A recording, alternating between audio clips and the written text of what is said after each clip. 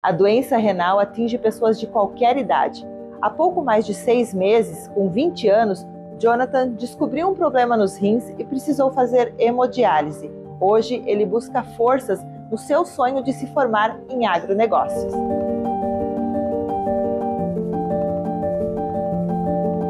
No final do ano passado, eu fui pro médico porque eu senti muitas dores nas pernas e inchaço.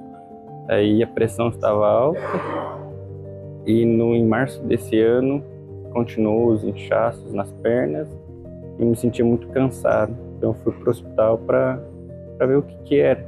Lá constou que eu estava com anemia muito alta e primeiro eu fiz uma transfusão de sangue. E daí no outro dia meus rins pararam. Eu terminei o ensino médio e morava com meus avós, porque como eu gosto da agricultura, eles moram no interior, eu fiquei com eles lá. Depois que eu descobri a doença, tive que voltar para a cidade faço faculdade de agronegócios e a vida eu consigo ser normal. Eu vou para os lugares, eu passeio, eu só cuido né, mais na alimentação, faço caminhada.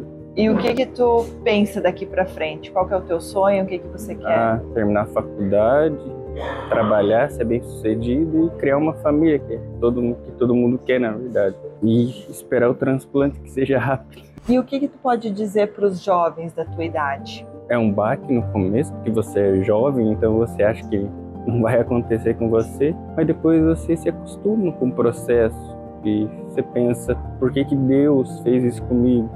Mas aí cada um tem um propósito, então agora eu vivo normal, como qualquer outra pessoa, eu venho aqui, eu faço brincadeiras, na família mudou o tratamento, e daí eu não faço mais todas as coisas que eu fazia antes. E amigos? A única diferença é que na roda de amigos eu sou um mago, o, o motorista, na verdade. Né? Apesar de tudo isso, tem uma qualidade de vida um pouquinho melhor é, agora. É, exatamente. Eu só cuido na alimentação, né, que é o principal.